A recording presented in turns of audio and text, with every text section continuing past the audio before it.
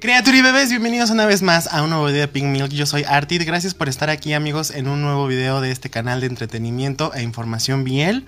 El día de hoy vamos a tocar nuevamente, ya dirán ustedes ya por favor otro tema, pero es importante mantenernos informados acerca de lo que ha pasado con Toy Tanapat.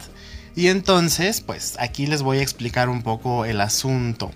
Y para empezar, quiero, quiero comentar, quiero hacer así como un pequeño disclaimer. Y es que, eh, la, uno, la información sigue siendo súper confusa, sigue siendo súper confusa. Este, la verdad es que toda esta información que les voy a proporcionar todavía va a poner las cosas más difíciles de entender. Prepárense para eso. Y dos, eh, por el momento el proceso se ha mantenido de forma como no pública, ¿vale? Ya los medios de comunicación sí están encima del tema, pero no, pero no se sabe mucha información al respecto. Precisamente me esperé unos días a que la situación pasara porque lo que les voy a comentar ahorita es muy revelador y eh, o sea, cambia totalmente las reglas del tema. Entonces, este, yo me quería esperar unos días porque yo dije, híjole, si lo digo en el momento podré estarla cajeteando.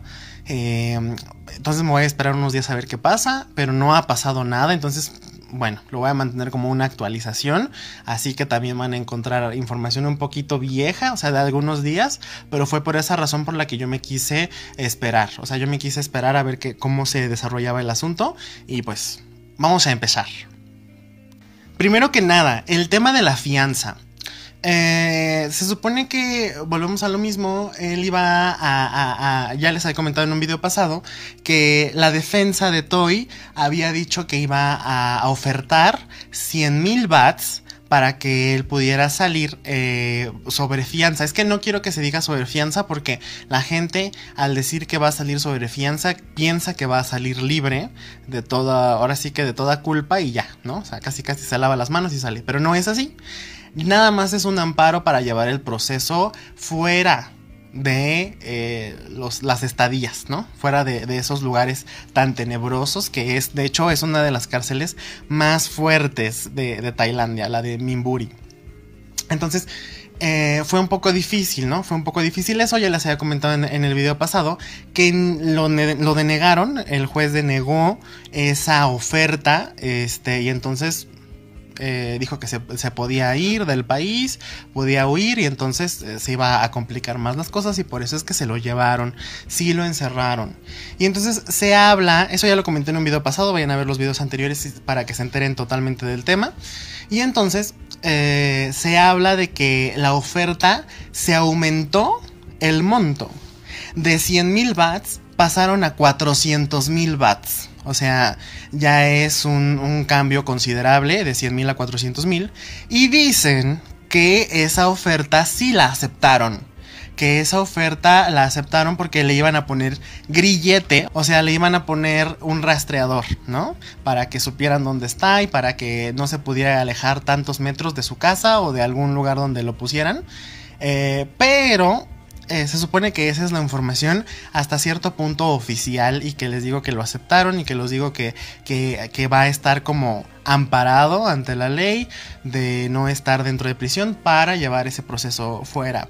Pero les vuelvo a repetir que es muy confusa la información, ya que se supone que ese dato es real, sin embargo, en lo personal, yo por más que he intentado buscar, por más que he intentado, eh, pues sí, investigar de que Toy esté fuera yo no he visto que Toy esté fuera, yo no he visto que saquen a Toy, yo no he visto que, que, realmente se esté llevando ese proceso de amparo, según. Entonces, ahí sí no, no les podría yo confirmar esta información al 100%, pero dicen que es cierta. Por otra parte, y aquí viene lo bueno, amigos, aquí viene lo bueno y lo más confuso, y es que la mamá de Pim dio en una, en una televisora muy importante, en un, en un canal de noticias, dijo, bueno, llegó a dar una entrevista para, ese canal.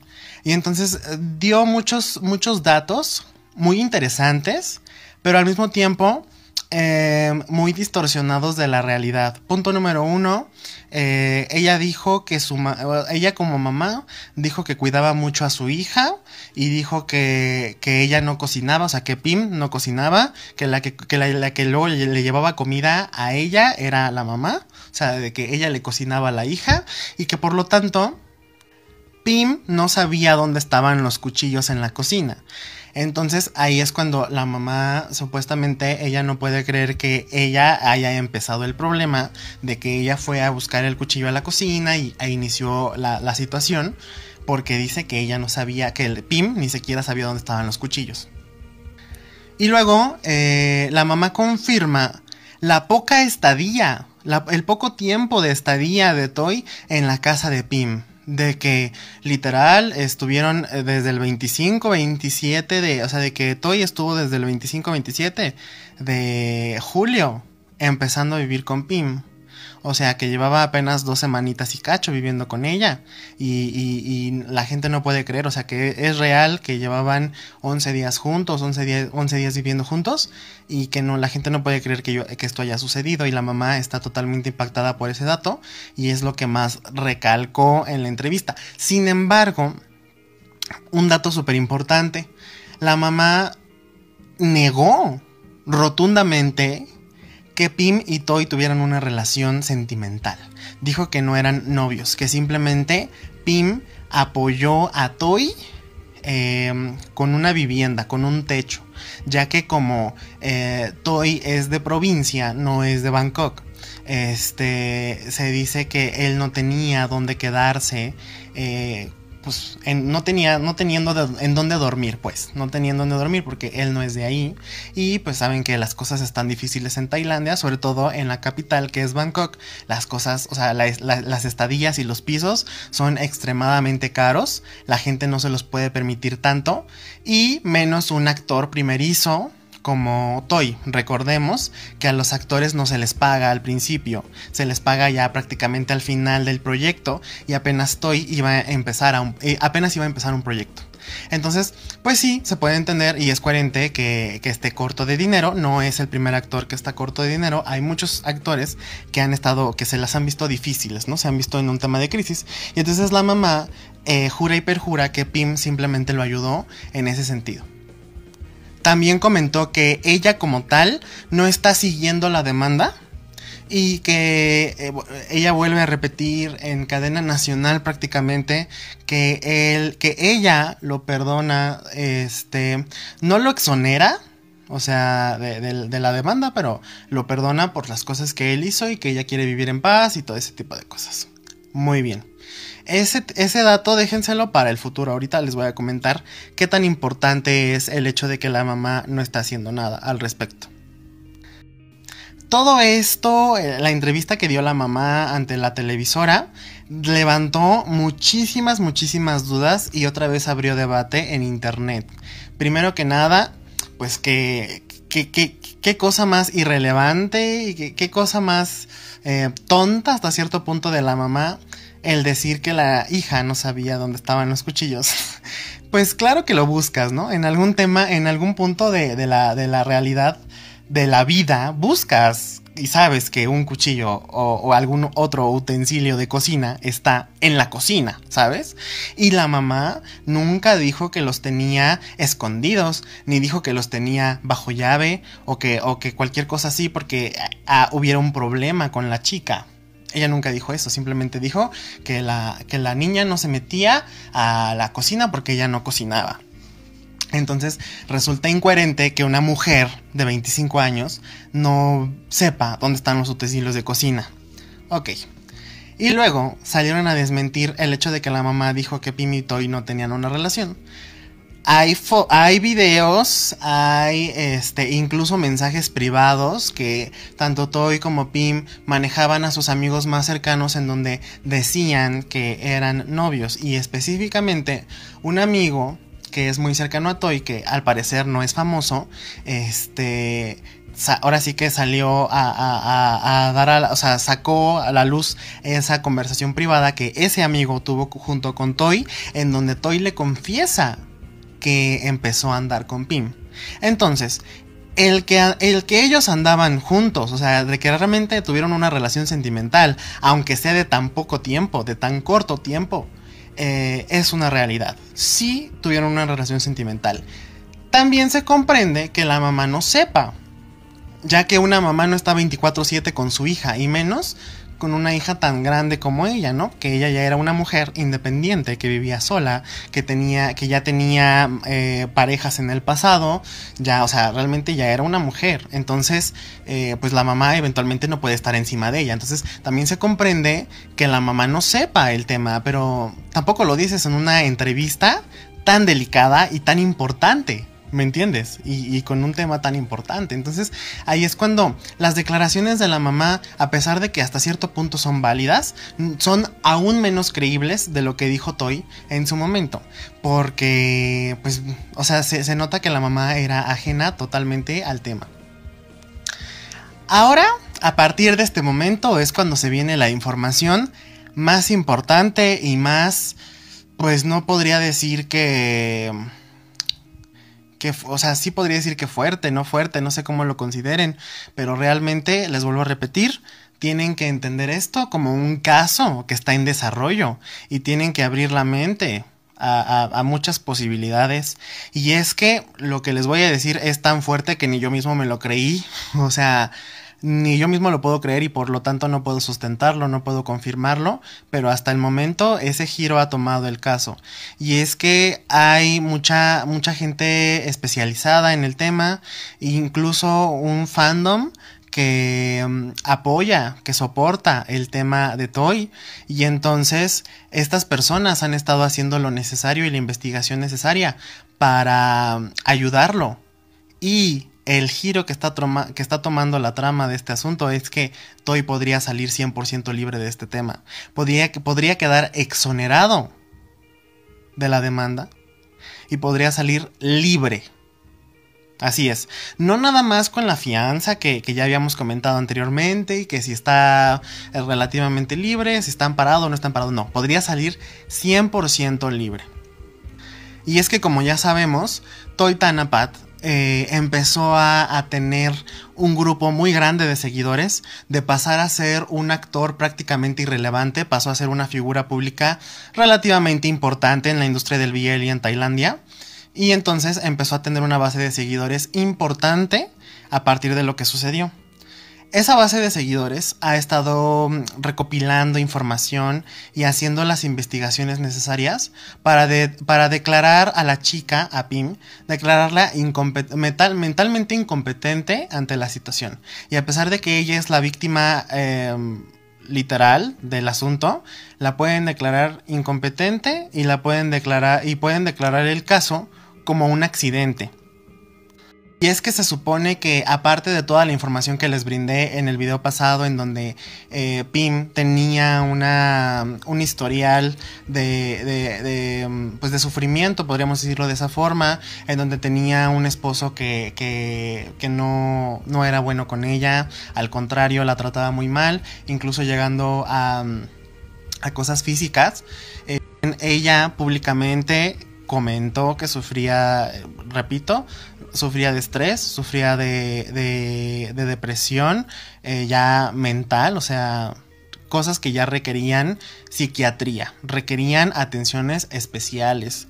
Ella no debía estar, eh, al mismo tiempo les digo, los estos, la gente que, que, apoya a Toy condenan directamente a la mamá porque ella era, todo, o sea, fíjense, todo lo que la mamá dijo les dio fuerzas a las personas que, están en contra de la mamá.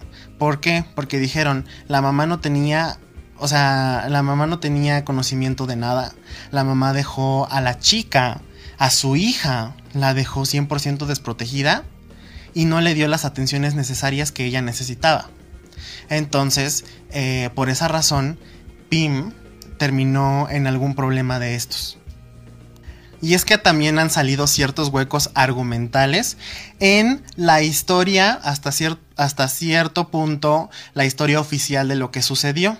Recordemos que tuvieron problemas, empezaron a pelear, tomaron ese día, eh, bueno, esa noche, y luego, este, ella empezó a armar un borlote en donde ella lo ocurrió a él de su casa. Y luego se supone que se encontraron en la planta baja y ahí fue cuando ella lo atacó a él. Y después empezaron a pelear y después él logró quitar el, el objeto y empezó a hacer lo que sabemos que hizo. Ok, aquí hay huecos argumentales incluso por especialistas que han dicho, o sea, que han citado a Toy Tanapat a que explique eso. O sea, no nada más están hablando los, el grupo de fans, sino también están hablando especialistas que están detrás del caso. En donde dicen, ok, si se supone que ella te encontró en la parte de abajo, como tú dices, ¿por qué estaban, por qué, por qué ella estaba en la planta de arriba? ¿Por qué cuando sucedieron las cosas estuvieron en la planta de arriba? Ahora, él maneja que pelearon, él maneja que discutieron y que empezaron a forcejear por el objeto, porque ella lo amenazó a él. Entonces dicen, ok, pelearon, forcejearon y todo, y entonces ¿por qué la casa y sobre todo la planta de arriba, la, la, la, la, habitación de ella, que es donde supuestamente todo sucedió, ¿por qué la habitación de ella está tan perfecta para haber, para, para haber tenido una pelea. La cama estaba bien, los, los, muebles estaban bien, todo estaba en su lugar. En una, se supone que en una pelea, en, un forcejeo de dos personas, no se ponen a pensar en si vamos a tirar las cosas o no las vamos a tirar. Entonces, muchos especialistas apuntan a que la casa estaba prácticamente intacta y a que simplemente ella estaba, pues eventualmente ellos encontraron el cuerpo de la chica al lado de la cama de ella. O sea, estaban en, estaba en el cuarto de ella. Y entonces dicen, todo estaba perfecto, todo estaba perfecto. ¿Por qué sucedió? Otra cosa que no terminan de entender es que, a pesar de que se desmintió, y repito, no sé si lo había repetido en el video pasado, pero repito, se desmintió que no fueron 20, 20 heridas, no fueron 20. Simplemente fueron 18 eh, heridas pequeñas y dos mortales. ¿Vale? Una llegando, la, más profunda llegó prácticamente a sus pulmones. Entonces, em, a pesar de que desmintieron la brutalidad del asunto, porque eventualmente mucha gente condenaba la brutalidad con la que se hizo, eh, con la que se supone que se había hecho, ¿no? Que habían sido 20 heridas, pero no, no fue así, simplemente fueron dos y este otras 18, entre comillas, que fueron más rasguños, más em, cortadas pequeñas, ¿no? Entonces, a pesar de que solamente hayan sido dos, em, la gente cree, los forenses creen, que em, fue algo muy limpio, para lo que fue. ¿Me explico? O sea, de que no fue, eh, o sea, literalmente Toy agarró y abrió. o sea, hizo una incisión, ¿me explico? Y entonces en el tema de la incisión, o sea, sale, sale líquido. ¿Me explico? No, no, puedo, no puedo explicar mucho el tema porque estoy en YouTube, pero si me entienden, o, sea, o sea, quiero que me entiendan, quiero que me sigan un poquito, ¿no? Con lo que puedo decir. Entonces, eh, todo salió muy limpio. Toy apenas estaba sucio de las manos. Y dicen, es que hasta cierto punto es una escena muy limpia. Es una escena como que hasta cierto punto con cuidado. Y entonces eh, son incógnitas que la gente no puede creer, que la gente no, no, no, no toma tan a la ligera, sobre todo los especialistas que son los que se ven obligados a llegar hasta la verdad del asunto entonces hay muchas incógnitas que no se, no se han respondido y precisamente por eso se ha citado a Toy a que, a que responda con la verdad de lo que sucedió.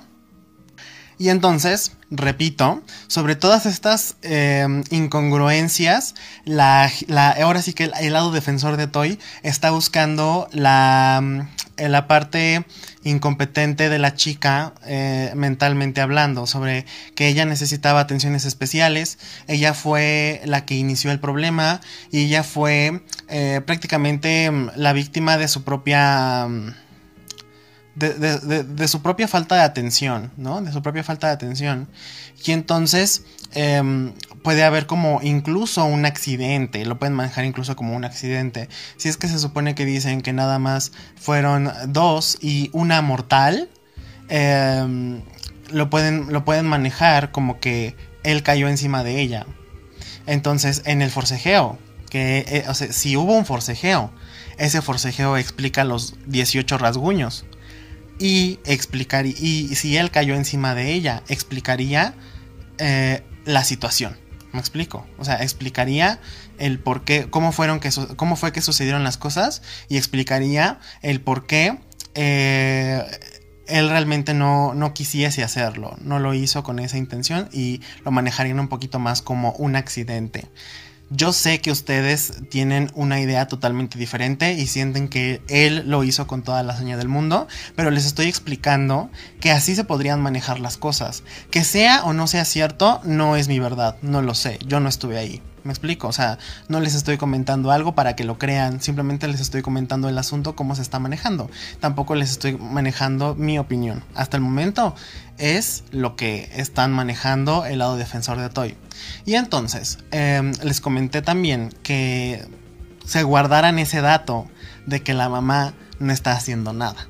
Entonces, el lado demandante del asunto, no hay nadie. O sea, hay mucha gente del lado defensor de Toy que les vuelvo a repetir, son, es el abogado, es la manager, es este, la, gente que está detrás de él, eh, el fanbase que él creó eh, mediante el asunto.